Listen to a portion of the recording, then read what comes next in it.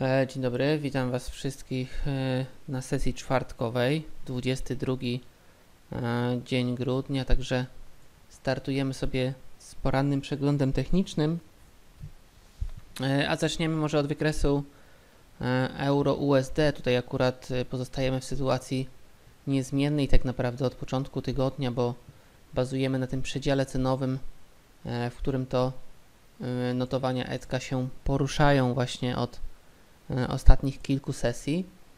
E, I w tym przypadku tylko może w ramach powtórzenia, tak, bo tutaj nie będziemy nic nowego sobie na razie e, wyznaczać, bo też nie ma takiej potrzeby.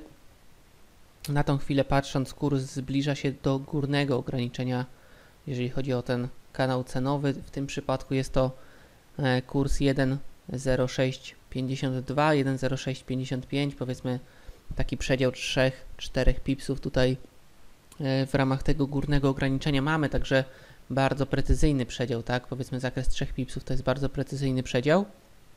Oczywiście z jakimś tam drobnym marginesem, jeżeli chodzi na naruszenie strefy, jak też miało miejsce już wcześniej.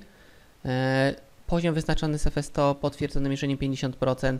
Na tą chwilę powiedzmy czterokrotnie, możemy powiedzieć, przetestowany, skutecznie wybroniony, także cały, cały czas ten range pozostaje aktualny, jeżeli chodzi o górne ograniczenie. Jeżeli chodzi o, o dolne ograniczenie, jak najbardziej też. Tutaj mieliśmy trzy podejścia. 1.0580 e, horyzontalne wsparcie, które tutaj stanowi dolną e, barierę tego kanału cenowego i również pozostaje aktualne. Także cały czas, jeśli chodzi o euro, dolara, e, handlujemy sobie tutaj od bandy do bandy. Oczywiście trzeba być uważnym, żeby też w porę, e, w porę z takich pozycji wyskoczyć w przypadku wybicia, bo prędzej czy później z kanału cena nam się na stałe wybije. GBP USD. Zobaczmy może jak to wygląda z perspektywy interwału jednogodzinowego.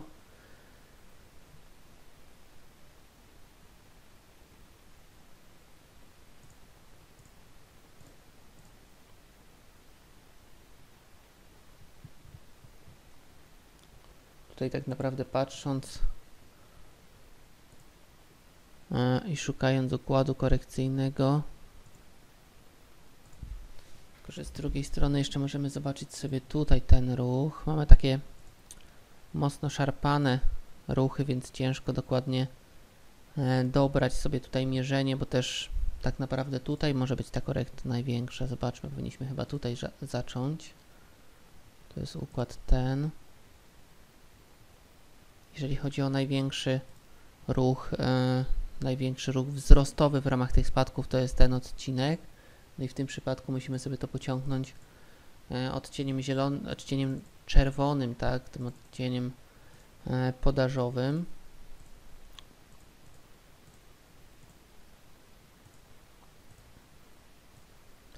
Bariera FS100 i obecna bariera e, obecna bariera podażowa na wykresie GBP-USD, jeśli chodzi o dokładny kurs e, 1.2175, tak, 1.2175 kurs strefy oporu na kablu.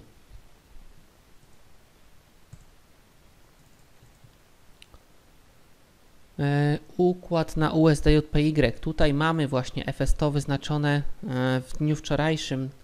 Przede wszystkim jak mm, nagrywałem, to też pokazałem Wam ten poziom FS100 wynikający z największej korekty wzrostowej. Tutaj ta korekta budowana e, podczas sesji 19 i 20 grudnia.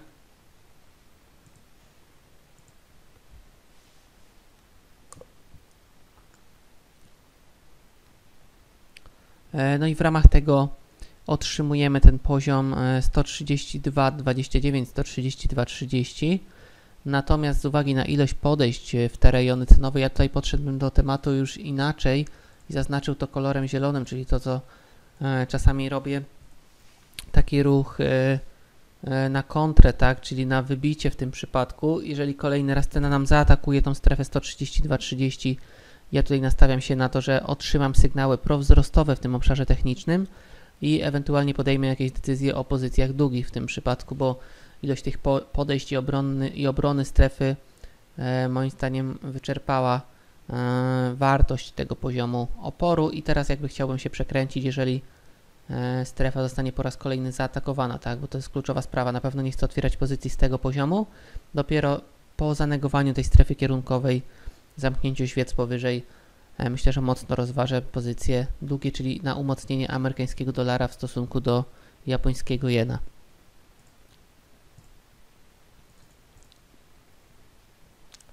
E, No i przypomnienie schematu na rynku złota.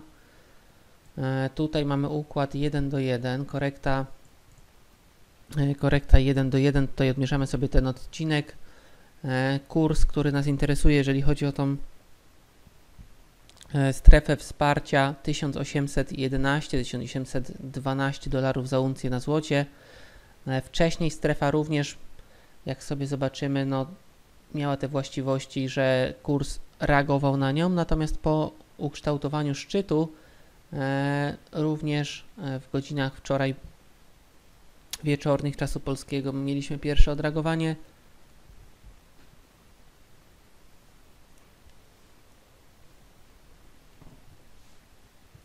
No i obecnie, e, obecnie możemy liczyć sobie na retest, z tym, że trzeba być czujnym, no bo zobaczcie, jedno odbicie, drugie odbicie, trzecie odbicie e, i to jest jakby czwarte podejście, więc e, tutaj takie 50 na 50 pozostawiam to jako strefę oporu. E, Ten, ta druga szansa od rynku po ukształtowaniu FS100 e, powinna się pojawić, natomiast e, liczę tutaj na silne potwierdzenie popytowe, żeby ewentualnie taką strefę rozegrać, tak, czyli formacje świecowe z długimi dolnymi cieniami, które e,